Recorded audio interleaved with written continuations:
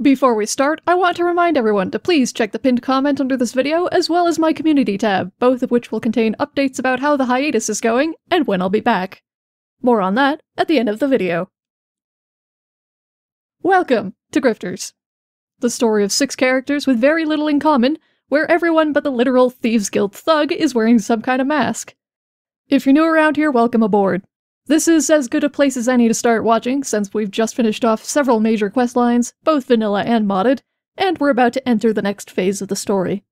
If you haven't been keeping up over the last 94 episodes and 6 trailers, you may be asking yourself what Grifters even is.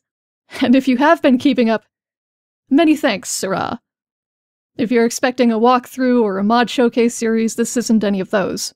Grifters is a long form, long running story set in Skyrim with an ensemble cast that lacks the meta knowledge that I have as their driver. This is my second time doing a series like this, with the first one being the Dawnbreaker saga, which followed a completely different cast of characters through their own journeys. Both series have had the same goal. Rather than having one Dragonborn become all powerful through doing all of the main quest lines, we instead have multiple characters with complicated pasts all slowly coming together over the course of the game, as they become more and more powerful players in the province of Skyrim. Atlug, Cactus, Solvondur, Myth, Cira, and Enna all operate in the same version of the world, which means that the actions one character takes may have an effect on the others. Spoiler warning. In this video, I'll be doing exactly what it says on the tin, going over the story so far, organized more or less by character. I'll also be including what we know so far of each of their backstories. While I don't think there have been any major groundbreaking plot twists so far in the series, there will be spoilers for a few quest lines, including the mod Teldryn Serious. If you're only looking to brush up on who these people are, I've divided each section between character and gameplay, so feel free to skip around to the parts you want to see and leave the rest. Let's away then, shall we? Carlisle, I don't know if we've met, I'm not exactly the definition of careful. Atlug Gra-Yazgash, Captain of the Scarlet, is one of two characters in this cast who was built specifically for this story, rather than as a test or concept challenge character. She is the grifter, in spite of being perhaps the most straightforward of the six. A lightly armored orcish pirate with a warhammer who looks like she'd sooner knock you into the drink than buy you an ale, though her knack for hospitality is second to none. Lug the Thug comes from a family of fences from Anvil Cyrodiil, and learned early on how to take care of her ship and crew under the guidance of her mother, Yazgash, captain of the Broken Ghost. So while she may be fully capable of Gallaghering heads with that hammer of hers, she also knows the value of a good story and a good song to lift morale. She's also been known to wade into battle to the tune of a sea shanty. My body lies over the ocean, my body lies over the sea. My body lies over the ocean. Would you please stop screaming at me? Right. This elk's blowing my cover. Stealth is not her strong suit, which means that if bribes and intimidation won't solve her problems, the Pirate Queen of Lostport Cavern has a tendency to go for the brute force approach. And boy howdy, she can force a lot of brutes to bend the knee. And everything else for that matter. Atlug's tale began with a jailbreak out of the Castle Dour dungeons, having been apprehended in her trailer for trying to report Jaree-Ra to the guards before he and his own crew could run the Ice Runner aground. Snitches get stitches, as they say, and Atlug emerged onto the Solitude docks to find the Scarlet missing, presumably taken by the Blackbloods as collateral. After taking care of what was left of the Ice Runner, Atlug proceeded to tear a path across the north coast of Haafingar before finally finding her ship, Son's crew, at Lostport Cavern, which she quickly took over. In search of gold to spruce up Lostport and hire a crew, she headed to Windhelm, did a quick favor for the East Empire Trading Company to cut down the competition, then headed south to Riften in the company of the bickering, definitely not an item, Cira and Myth. There, she joined the Thieves Guild so that she could have a chat with the infamous Delvin Mallory, and found herself rather expeditiously caught up in Mercer Frey's net. After meeting Karliah properly, walking off a chest wound, stealthing her way through the Markarth Museum for the tools to decode Gallus's journal, and joining the Nightingales, Atlug finally joined Karliah and Brynjolf to bring the hammer of justice down on Mercer's head once and for all. With all that squared away, Atlug returned the skeleton key to Nocturnal, picked up a fresh new talent for subterfuge, and upon her return to Delvin, having completed a job or two, she found herself sailing to Solstheim to deal with, of all things, a pirate problem. One that ran her directly into the path of our next character, Eh, Not much one for small talk then, I take it? Not really. Solvondur Ferane was a member of the Redoran Guard before he got on the wrong side of the Sea Tiger. Sol grew up in Ravenrock after his father Asherdon got reassigned there from Blacklight and brought his son and elder brother, Sol's uncle Othreloth, with him, leaving Sol's mother back on the mainland. Rather than join his uncle at the temple, Solvondur followed his father's footsteps and joined the Redoran Guard when he came of age. He lost his father in the raids of 4th Era 150, which was when Captain Modin Velith took him under his wing. Solvondur is the oldest of the cast and has seen his fair share of what life on the frontier is really like. He has a high constitution, a low tolerance for bullshit, and way more intelligence and adaptability than he tends to let on. Something that he's had to rely on more while learning his new skill set.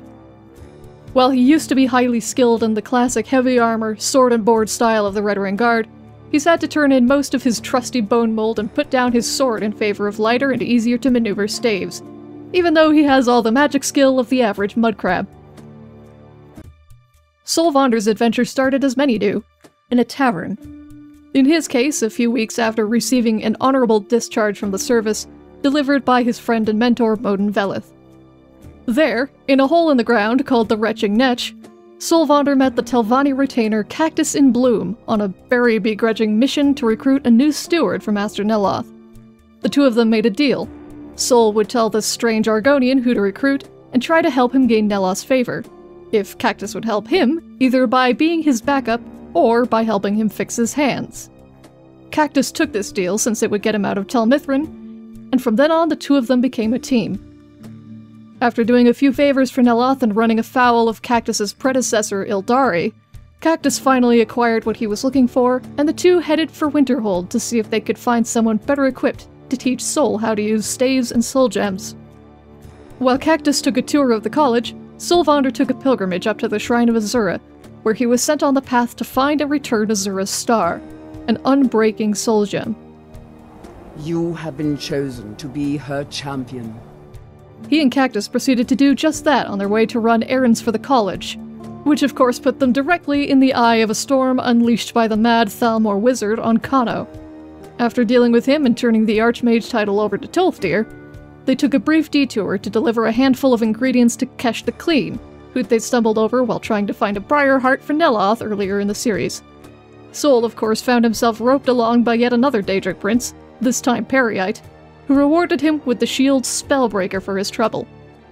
Finally, feeling ready to take on the Sea Tiger, Sol and Cactus sailed back to Solstheim to start their investigation, only for Cactus to go missing in the night. Thinking that Sigrun and her pirates had kidnapped him, and seeing a very new ship anchored offshore, Sol followed the smoke to find Atlug Gra-Yazgash already investigating. They agreed to team up and hunt down the captain and crew of the Sea Tiger together. And in spite of the search digging up some of Solvondur's mental wounds, I, uh. So? You're right. they managed to turn up what Sigrun was after at least revenge on Teldryn Sero for getting her late husband killed. After reuniting somewhat unexpectedly with Cactus, who had not been kidnapped by pirates, they all took off together to hunt Sigrun down for good, only for Sigrun to find them first instead.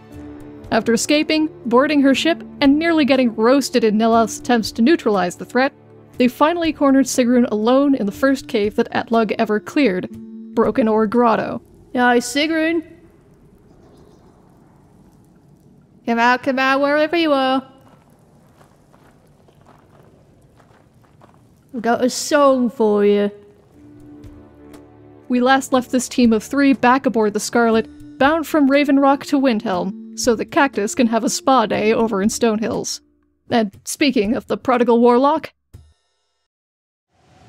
Trust me, I know suspicious. I grow up with suspicious. I am suspicious. Cactus in Bloom, also known as Cactus Andrethi when he needs to do paperwork, is an Argonian retainer of House Telvanni, and while he isn't exactly an accomplished mage, at least as far as the standards of his house are concerned, he is a powerful one.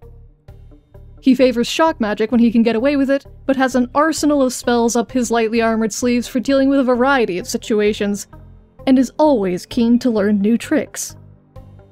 Cactus hasn't exactly been forthright about his past, not like he has much past to be forthright about, given that he is the youngest member of the cast, but we do know that he was raised by a Dunmer, the late wizard Azeron Andrethi, out on the Telvanni Isles of Morrowind.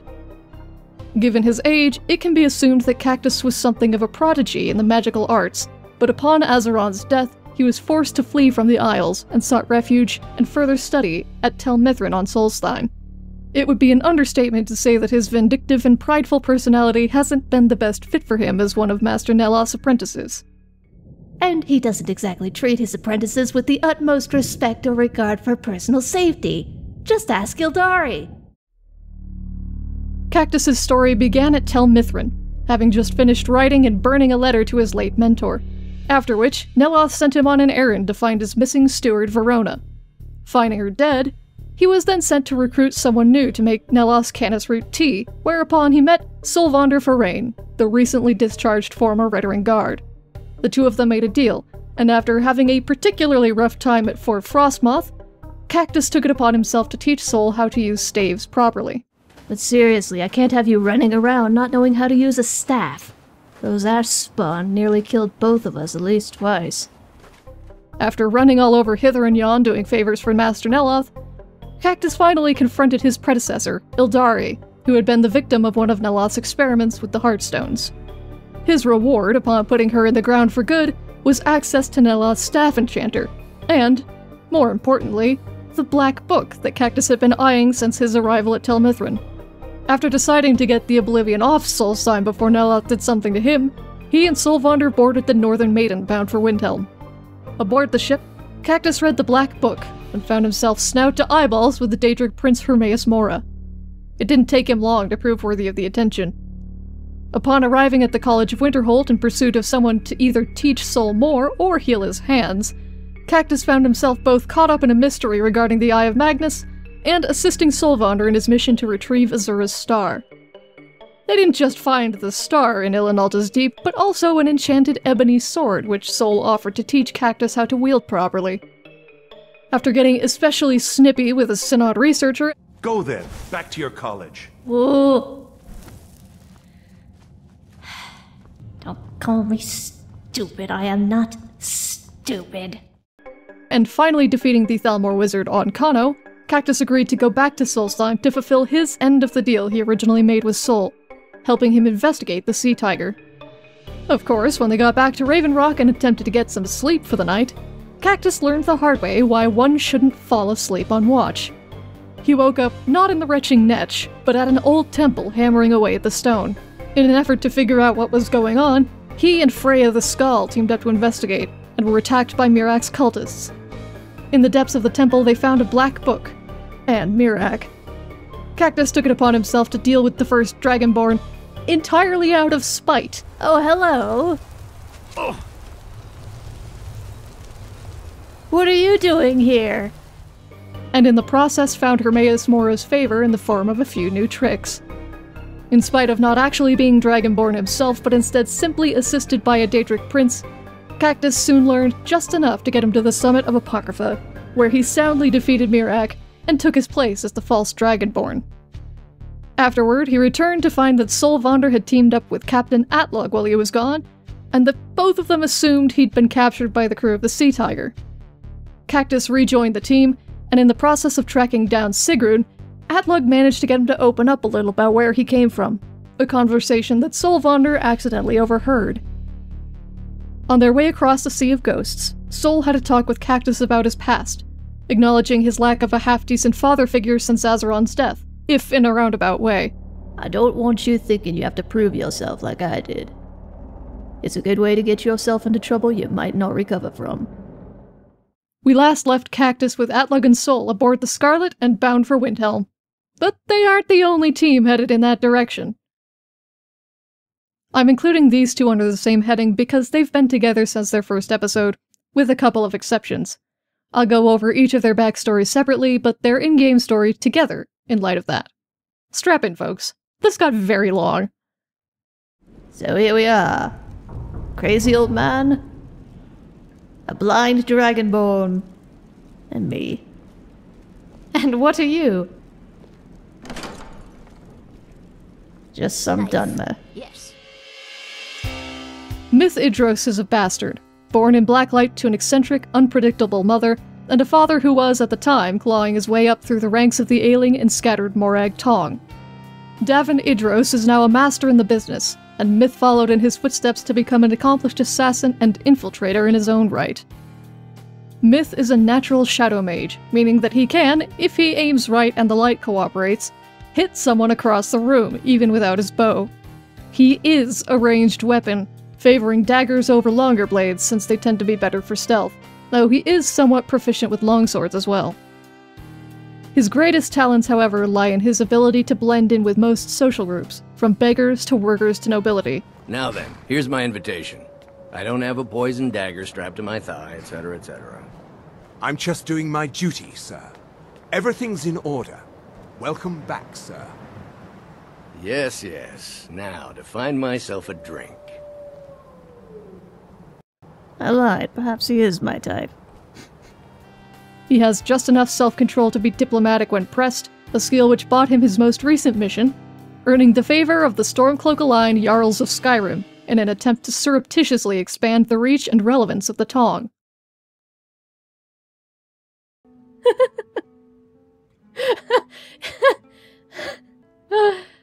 What are you laughing about? Her source is trust me. Cira, formerly known as Ciralatta Ilkaranya of Sorian of Kalandenieta, came from a wealthy and distinguished family of Thalmor sympathizers in Shimmerene. She had a comfortable life in her younger years before the Great War and its aftermath turned the Summerset Isles into a seething cauldron of paranoia and societal pressure. Being the youngest in her family, Ciralatta was allowed a bit more freedom, and used it to escape into endless books at the Monastery of Serene Harmony. Her devotion to Xarxes and her endless searching for hope in the midst of living in an extremely hostile social environment led her to studying the possible ascension of Talos and drawing connections between him and Xarxes. Connections which were deemed heresy when she trusted her elder brother with her thoughts. In order to protect their family's standing, Ciralatta was thoroughly and violently excommunicated from Altmer society and exiled from the Summerset Isles. The Thalmor shipped her to Skyrim, the most hostile province possible for her to end up in, and ordered her execution by exposure or torment.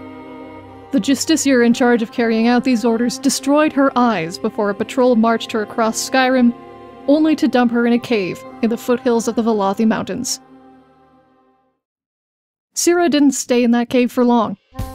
Driven by spite, she survived the march and her injuries, and managed to find a robe and a stick before a gang of reavers abducted her, which was where Myth found her on his way through a hidden mountain pass from Morrowind into Skyrim.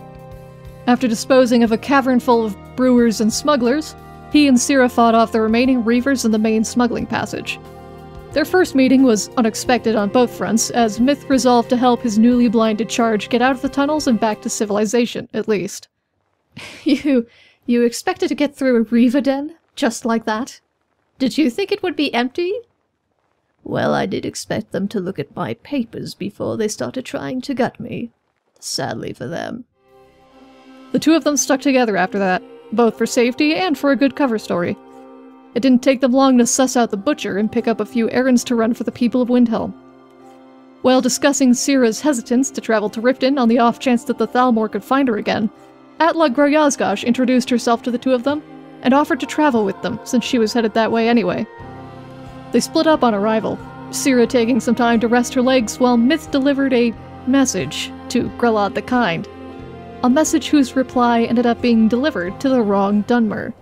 Uh, Cactus, do you have any idea what this means? Mmm. Nope. Not really.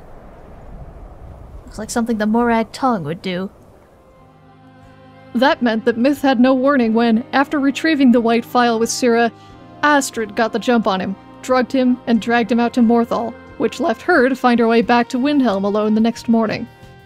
While Cira got to work repairing the Aretino residence, Myth got to work repaying Astrid's hospitality with interest.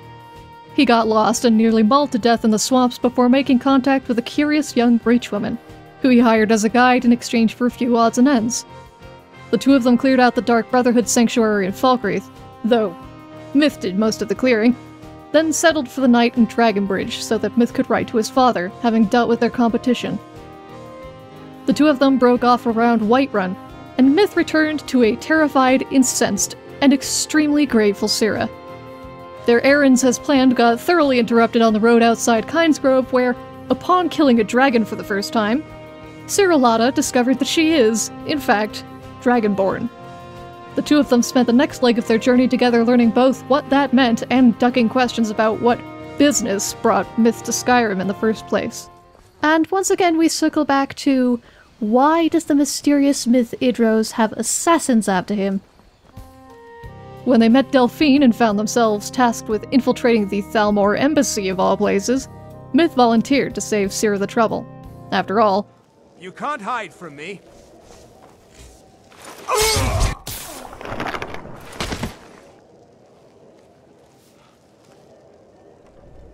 That's where you're wrong, sir.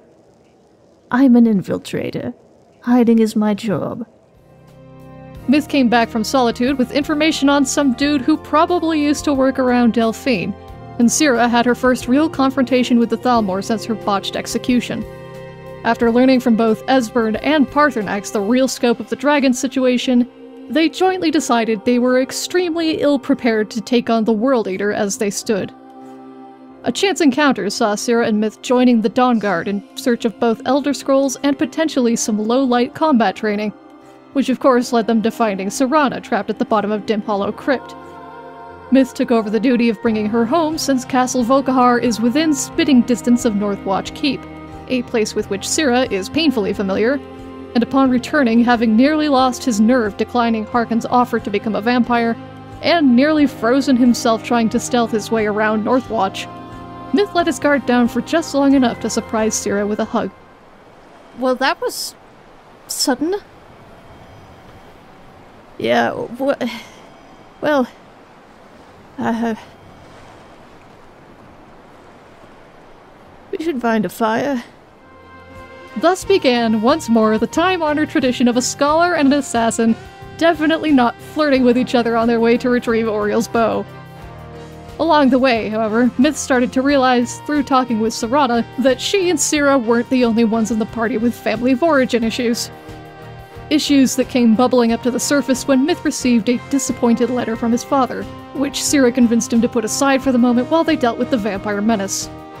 After a somewhat harrowing trek through the Forgotten Valley to finally confront Vyrthur and take the bow, Myth, Cira, Serana, and the combined force of the Dawn Guard all marched on Castle Volkihar to put Harkon down once and for all. In the fray, a gargoyle broke Myth's arm, and in the aftermath of both the battle and the healing, he and Cira finally got the chance to talk about their feelings for each other. Maybe I've ended up so fond of you because you're an excellent distraction. Fond of me? It would seem that the feeling is mutual. They intended to take a break after that, but on their way up to the throat of the world to retrieve some unmelting snow for Quintus at the White Phial, the reason they joined the Dawn Guard in the first place dropped down on their heads. We last left the two of them hunkering down at High Hrothgar after an unexpected stalemate with the World Eater, having resolved to deliver the snow to Windhelm in the morning. Which makes you wonder who else they might find there. There is, after all, one more player in this game. Are they dead? Oh. I. Perhaps I'm a bit better at this than I thought. Enna Croweye is the other character that was built specifically for this story. She was born and raised in one of the most inhospitable regions in Skyrim, the hills and mountains of the Reach. She spent her formative years evading city folk and watching bickering clans raid and destroy each other, the reach after Madanach's capture had devolved into an environment of violence and chaos, for which Enna could only blame one man Ulfric Stormcloak, the Bear of Markarth. Enna learned the old ways from her granny Melka the Hagraven, and from the late members of her clan, taking up the name Crow Eye as a nod to both her sharp vision and her friendship with her oft errant familiar, Crook. And what have you got to say for yourself there? Oh, She has all the skills she needs to survive in the hostile Karth River Gorge, having trained herself for stealth, archery, alchemy, blade work, and sometimes brutal hedge magic that can consume the dead as well as the living. While she doesn't have many skills whatsoever when it comes to dealing with city people, Enna speaks the language of the Reach as her mother tongue. One couldn't ask for a better guide through the hills, or a worse enemy to find lurking within them. Enna's story started when she noticed a gang of Silverblood mercenaries occupying Karthwasten, a town that she had the habit of watching from her perch above Blind Cliff Cave. Her investigation of who sent them led her to the city of Markarth, where she soon found herself embroiled in a conspiracy involving her own people. After meeting and subsequently freeing Madanach and the Druadach clan, Enna returned home to find that Petra had betrayed Melka in her absence, having sided instead with the hostile faction at Sundered Towers. After checking in with Madanach, Enna spoke with the Hermit of the Crag, a hagraven roosting around Ragnvald, who gave her some direction in the form of a riddle. Unsure how to interpret said riddle, Enna headed back to Markarth to start picking up where Nepos left off, as far as getting into the good graces of any Reachman sympathizers still left. Part of this involved gathering materials for the woman trying to fix up the Warrens, which led her north. While procrastinating heading into Solitude by way of gathering herbs, she ran into Myth Idros, who had in turn run into a pack of werewolves. She helped him fend them off, And you're not afraid I'd kill you for overhearing? Well, I wasn't before you said that. Then teamed up with him to guide him to the Dark Brotherhood Sanctuary for the price of a black soul gem and a bow that could trap a soul in it. After that, they headed east so that she could eventually pick up a donation from someone in Riften, but they instead parted ways at Whiterun when Enna saw a giant eagle statue presiding over Jorvaskr in the distance. While she has no love for Nords, Enna saw the potential in learning how to fight like them, and in seeking both training and answers about who built the Skyforge, she joined the Companions. Along the way, she uncovered an old curse stemming back to the Glenmoril Coven, about which she wasn't terribly surprised. When the opportunity presented itself, Enna became a werewolf, reveling in her newfound strength, and set out to practice the art of war with Aela as her teacher. Eventually, of course, Kodlak caught them, and sent Enna off in search of a cure for their affliction, pitting Enna against her own people. This, however, was something that she was no stranger to, and took one of the Hagraven's heads with as much respect as she could manage given the grisly task at hand. On her return, however, she found Kodlak dead, and she and Vilkas retaliated against the Silver Hand before finally meeting up with the remaining circle one final time to free Kodlak's spirit. After that, Enna saw no further reason to stay with the companions and returned to the Reach to find the Karthspire camp destroyed, and decided that the path of Hestra, the path of war, had come to her. She started at Sunder Towers by retrieving Red Eagle's sword, then completed Red Eagle's rite, raising him back from the dead and binding the remnants of his soul in a black soul gem to take with her. She established a peace treaty between all the pariah folk of the Reach, between the Orc strongholds and the Forsworn tribes loyal to Clan Druadach and Ard Madanach. After that, Enna tore her way through hostile clans, Stormcloak camps, and a bandit-occupied mine to secure resources and border control for the loyal clans. Finally, she took on the Crown of the Reach, Lost Valley Redoubt, assisted in no small part by her first dragon encounter. After kiting it into the camp and felling it, however, something very strange indeed happened, and not necessarily to her. Red Eagle, you have some explaining to do. Once she'd given a report to the matriarch at Hagrock Redoubt, Enna summoned Red Eagle, as voiced by the panicked monk, from his gem to have a chat about it. He revealed a great deal to her, including just how deep the roots of the Forsworn's bereavement goes. Armed with this new knowledge and resolve, Enna is now poised to hunt down a bear. A bear that happens to live in Windhelm.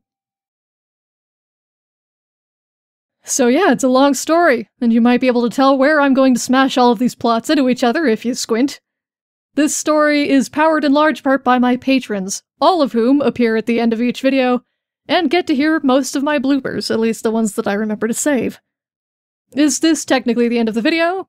Yes, it is, which means it's time for an update on the current hiatus. As you might be able to guess, I have a lot that needs to get done.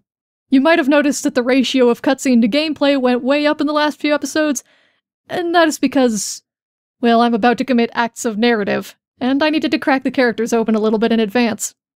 I'm hoping it lives up to the hype, and I'm trying to be careful not to promise anything too wild. This is still Skyrim I'm working with here. Part of the hiatus is undoubtedly going to be taken up by rerunning DynDOLOD and fixing whatever errors I managed to stir up in the process, by the way. The mismatched Imperial forts are starting to bother me, and since we're going to be looking at a lot of them in the near future, yeah, I need to fix that. And with that, I'm gonna go give my voice a rest. Keep on keeping on, y'all.